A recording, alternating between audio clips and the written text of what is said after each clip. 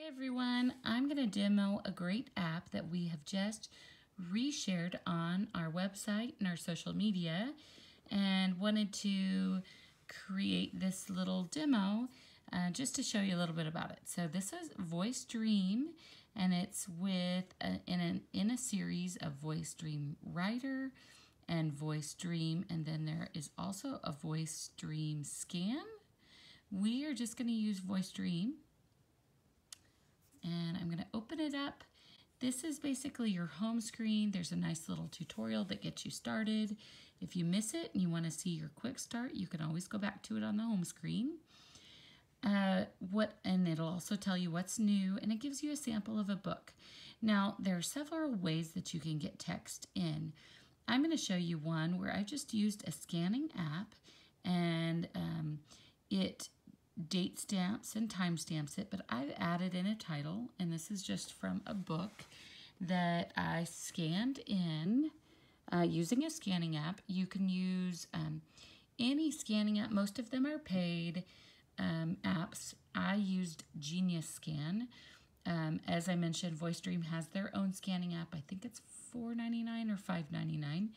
Um, but I was able to put this in there just without just by exporting. And um, I can share how to do that as well. So this is just the original text, and I could... Um, Therefore, I used S comment as motivation to begin a new way of driving or a I few of the small... So go to plain text. And what's great about this is I can change the colors in the background. So I can have a dark background with a light um, light words. I can customize it. I, um, you'll see that I have it pinched where this is great for your, um, maybe your dyslexic kids or that just really need to um, chunk their reading. Um, so I can go Therefore, back. I used S comment as motivation to begin a new way of driving or a few of the small but powerful hand. I'm going to go back to the top.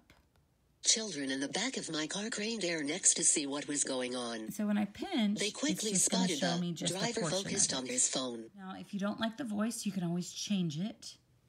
And so I can listen to all of my English voices and I can change the languages as well um, and pick a voice that, that you like. There are also voices that you can pay for, um, but it does come with one free um, voice that is not so robotic. Um, I can also, in my settings, I can listen, I can set a timer and I can change the reading modes. So, um, stopping at the end, finger reading. Here are my files. This is how I went in and changed the title. So in order to get this in my library, I'm going to go to my scanning app, which I was just using Genius Scan. And so I would take a picture or scan a picture using my scanning app. So I'd hold my iPad over the top of um, whatever page I wanted to scan and I would just tap on that plus scan from camera, and then I'll hold it over the top of whatever I want to scan. Once I have the scan, I'm going to tap on this little share button in the bottom right hand corner. And then I've got lots of options, but I'm going to choose the one that says export to other apps. And because I've already downloaded um, Voice Dream, I'm going to say copy to Voice Dream.